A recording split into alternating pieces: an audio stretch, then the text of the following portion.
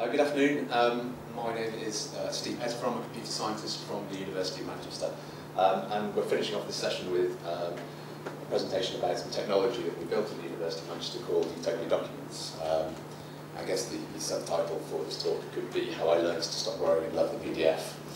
Um, so this is a project that started originally funded by the Biochemical Society um, in, in 2009. So this was followed on from a discussion between Rhonda Oliver, who was the MD at the time, and uh, Audrey McCulloch, who's actually now at ALPS, who came to see my colleague, Professor Terri Attwood about how they could make their um, auxiliary data more interesting. How could they, how could they get readers to engage with the, the auxiliary material in the journal?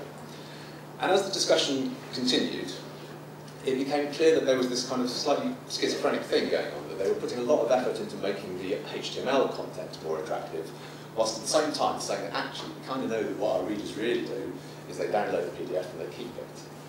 So we got together and we talked about the challenges of trying to make something more interesting work with the PDF. Could we enhance the PDF um, in a way that, that started to bring the advantages of the sort of interconnectedness of the web and the interactivity of the web to the medium that uh, we know that, that, um, that scholars actually like to use. And the PDF actually comes, into, comes in for a lot of stick, and sort of understandably in many cases, um, as being the root of many of the problems that we have in scholarly communication at the moment. So a few quotes that I've come across recently. Uh, so we've had, um, the, the, PDF is an insult to science. Crikey, I mean, it's, it's just a file format. It's, um, it's, um, it's like inventing the telephone and then using it to transmit Morse code. Uh, and my favourite is a hamburger, which we're trying to turn back into a cow. Um, and you also kind of hear people saying this kind of thing on Twitter and online and in conferences over and over and over. I asked for some data, um, but it was sent for me, sent to me as a table in a PDF file, and I can't do anything with that. Therefore, PDFs are stupid. And you think, actually, there's no such thing as a stupid format. There's only stupid people. You know, if, if somebody had sent you a picture of that table, you'd be equally annoyed, or, or had transmitted it via interpretive dance, you'd, you'd, be annoyed with it. But you wouldn't blame the medium. It's, it's the wrong medium for sending data around. But as a way of capturing uh, the narrative of uh, somebody's thought, it's not a terrible format. And scholarly communication is not a new thing. This is not something that we've just plucked out of thin air over the past few years. This is something that we've been doing one way or another for a very long time. It's not happened by accident. The ways that we do things at the moment, although suboptimal in today's interconnected world, are not just by chance. They've evolved at least. And a scholarly article is not the same as a web page. It's, it has some things in common, but they are not exactly the same thing. And it's not a website. It's not a sort of a random interconnected thing it's, it's not a blog, it has an extra level of formality over a blog. Uh, it's not a wiki where things are dispersed around and changing all the time, or a database. And I'm okay with that. I really like many things about scholarly articles as they stand, even though we still recognise that they are not, they're not going to stay like this forever. And I was trying to find some quotes that describe what I think a scholarly article is like, and I really like these two, keeping the minutes of science. So one of the things that we want a scholarly article to do is to be a point of thought at a moment in time, something that we can refer to, so that when I refer back to something that has been published, I can do so with the confidence that somebody won't have made a sneaky change to it and inserted the word not into it somewhere, so that now my reference looks totally nonsensical because the underlying thing has changed. So there's a sort of a, there's something about keeping record of, of science or, scholar, or scholastic behaviour. And this is from Anita de Waard. Um, stories that persuade with data. Uh, that an article I'm not talking about a PDF, an article, a, a publication, if you like, um, is a narrative and something to back that up. And stories have a beginning, a middle, and an end. And PDFs have edges. Unlike the wiki, which kind of potentially goes on forever, or the web, which you, know, you can follow links in all directions for a very long time and get lost. So there's something quite nice about having things, um, at least having a focus for what you're reading, so that you can take a thought out of somebody else's head get it into yours. Um, heard Samuel described, who's actually talking about a lobe, but I think it also applies to a single article, as um, an article as being a thought in cold storage, something that's kind of captured there for you to, uh, to look at in the future. So just like to do a very quick experiment. What's, what's this?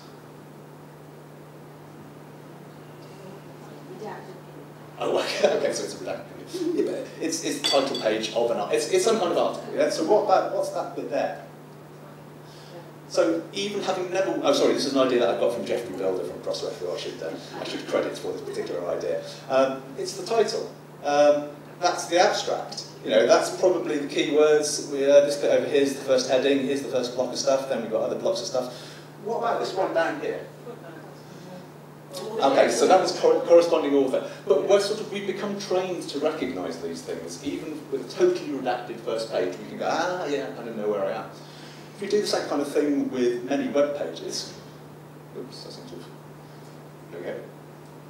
PDF version, HTML version, you start looking at what we've got here. Well, we've got some stuff at the top here, which is kind of links and things, don't really want those adverts, don't want those, uh, some more stuff about the journal, don't really want that. Links to all sorts of stuff that's not relevant to this article, um, some more stuff about advertising, bits and bobs down there, all kinds of guff.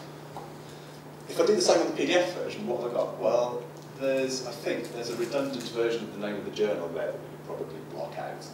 But after that, in terms of kind of the screen real estate, and the PDF, we've typically wasted a tiny little bit down here. On the HTML version, we've kind of half our screens of guff that we probably didn't really want.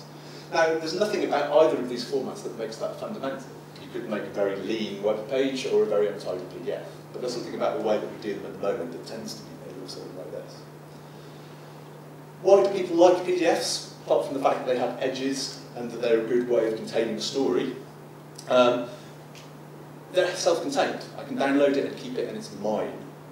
Um, if I change institutions, I won't have to worry about the fact that I'll have that sort of authentication taken away from me. I can read it on the train or in the bath.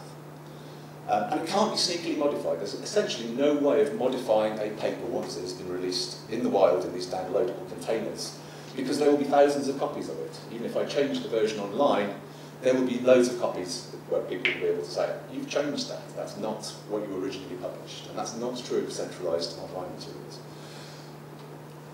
But the interesting thing is that the PDF is still in many ways an artifact of a closed literature, because many of the things that I care about in terms of being able to have a copy that's mine so that uh, it can't be taken away from me, in an open access world, these kinds of things will change.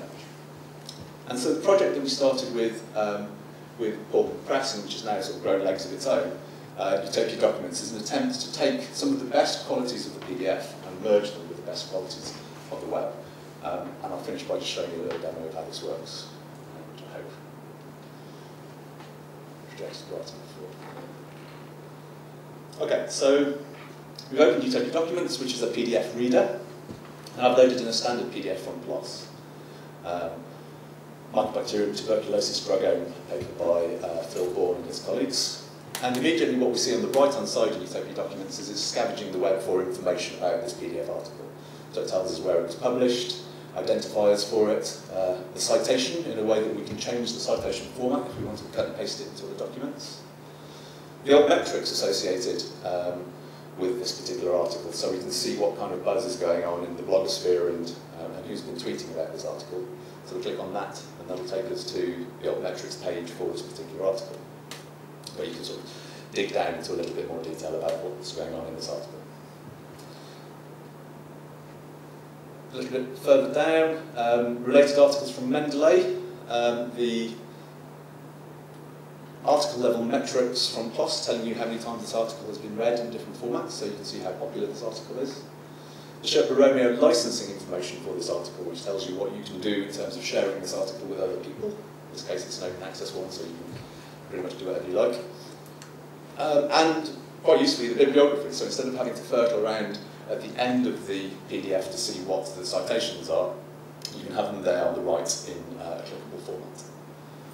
So if I go back to the main part of the paper now, one of the things that's kind of frustrating about PDFs is that a lot of this, a lot of information can get sort of trapped in there. So there's a table which under normal circumstances would be quite irritating to interact with, you don't even recognize the tabular structure of this um, and extract it into kind of like a little spreadsheet type format so that you can then save this into your favorite real spreadsheet for prop, doing proper editing. And we've even got a very, very simple, quick and dirty scatter block mechanism so you can see what the data in the table looks like. And you can export it as CSV to, uh, to Excel or to Spotfire. Bit, uh, so that, that can be done automatically. Um, a little bit further down, we've got an example of a, a user annotation where Another user, not, not me, has annotated this particular protein as being a particular entry from, from the protein data bank. So you take you can fetch the three-dimensional protein structure um, for that object so that you can interact with it inside the paper. Or get a, um, a larger version of the three-dimensional structure that again you can export to some, a proper visualization tool if you wanted to do some real hardcore analysis on it. Over here on the left, we have a, a little speech bubble that suggests that there, a, a discussion has started about this particular object, so you can see other users interacting with it. So all of these things are sort of overlaid onto the PDF. These are not modifications to the underlying file format. Uh, these are things that are done in, in real time um, and overlaid on the PDF as you're reading it, so they can, they can change. One of the neat features that we've added recently uh, is to make reading, is to make getting the citations, the in-text citations. So here, you can see 10 and 12 uh, are citations. But that tells me nothing about who actually wrote those papers. In Utopia, if you click on those, it will work out what those articles are and give you the list of the, um, the articles from the reference section. If you've got the authentication to actually get at the PDFs, you can click on that icon and it will go and fetch that article from the publisher for you and open it in a separate tab here um, inside Utopia so that you can flick between articles without having to mess about going through different library gateways. So it makes browsing from article to article uh, pretty much as straightforward as it does browsing around web pages. And just to finish off, if there are terms in the article that you don't understand, you can highlight those, uh, hit the explore function from the menu, there, and the sidebar changes to give you information about that specific object that you're looking for. So here are the, crystalline structures from the protein data bank that are associated with G-coupled protein receptors. Um, and so you get very specific and very generic um, entry. So here's the Wikipedia entry for um, GPCR as well, and you can browse that uh, directly within Utopia without having to leave and go to another tool. Um, and that's pretty much it, really. So, so it, it, this is our attempt to, to build a tool that merges the best of the web with the best of the PDF. Um, and it's available from there if anybody would like to. Thank you very much.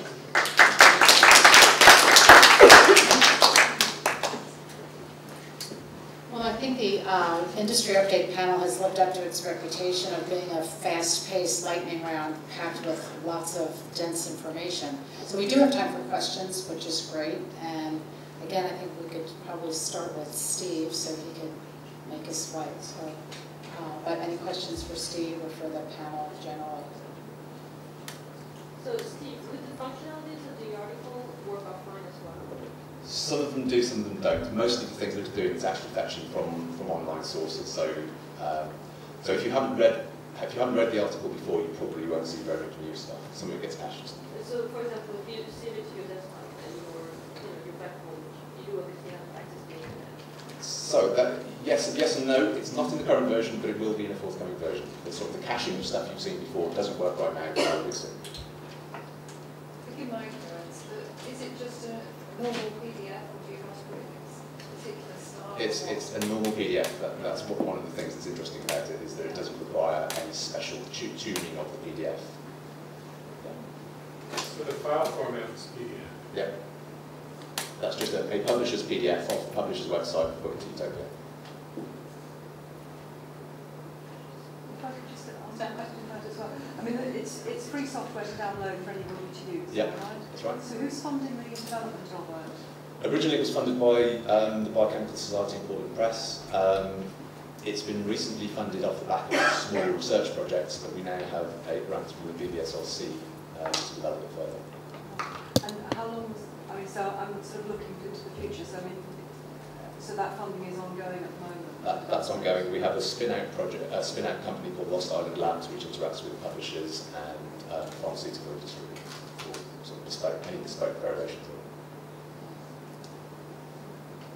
Is the discussion function just for other Utopia users, or is that called for social media? At the moment, it's just other Ut- Utopia users, but what we're planning to do is to hook that into other, other social media sites so that it's, yeah. The discussion function at the moment is a little bit, it's, it's fairly minimal, um, but, but we have plans to work it into proper discussion systems. Do you have any licensing issues around it? If you own a PDF, if somebody is legally owns a PDF, can they do everything that, is there any additional licensing?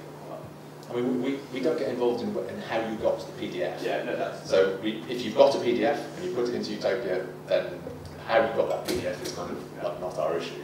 Uh, but assuming that you've got it via a remote mechanism, there's no problem. Do you mean in terms of the way it fetches PDFs? no, no, I, I mean, so somebody's got a PDF, they put it into their, I, I don't believe there's, no, there's no possibility someone's got a PDF but can't do certain things with it. I don't believe so. No.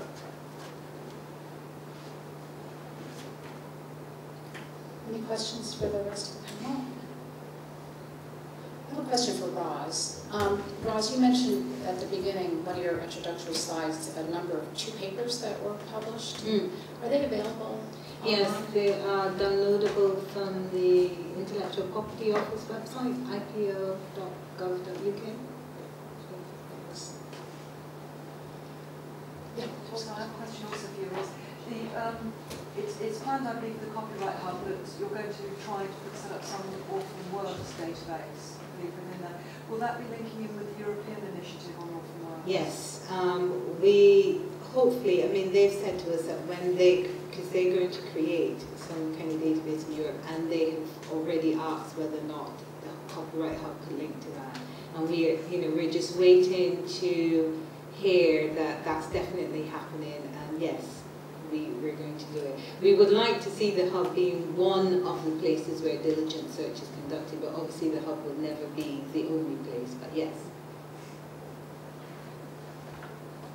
Uh, question for Heather. Do you have any stats on uh, percentage of people who actually create content uh, to Google? Like how many see uh, that they have to pay and then just, you know, Yeah, so as I was um, uh, mentioning to, to Jamie before, we can, we can tell when the instructors are making their selections if they abandon an item, Right. maybe because it has a price or something, or Dividends. But for the students, that at the point where the student transaction takes place, um, the closest we could probably get to see if they are not purchasing is uh, if they create account, an account but don't actually purchase something. Um, but uh, the, the, the Google Analytics that would be happening on the MOOC platforms themselves, because we're not a MOOC platform, we're just, uh, we connect with links there. So uh, the, a lot of the figures that are kind of bandied about for completion rates can be as low as, say, three percent, or some of the courses might be higher. Um, we've found that the, the purchase of content uh, for the folks who stay through to the end, um, it's a pretty good uh, match. So I mean, if you're talking about very large numbers to start with, um, it might not be necessary, you know, to, to kind of work beyond that. But I do think um, a number of the, the graphs uh, divide people up into kind of, you know, active participant, um, observer, things like that, that um, as we learn a little bit more of the reasons why uh, folks might be taking the course, the, the item, let's say it's a history course in the 20th century, the item that they're very interested in might be in the first few weeks of the course, it might be in the last few weeks of the course. Um, a lot of these MOOCs, they're obviously, uh, uh, content's being added weekly, but the students can actually start at any time and finish later. So they're not designed to be taken, you know, completely in a synchronous manner.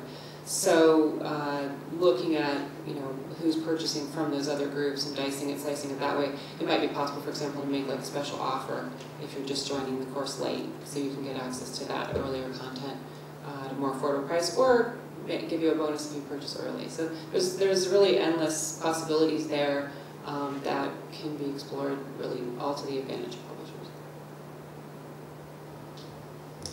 I have a question uh, from Marianne, Force 11. Uh, I might have missed the, um, um, the taxi driver uh, part, but I'm, I'm not sure what the vision is as to where, where it will be in perhaps three, five years' time.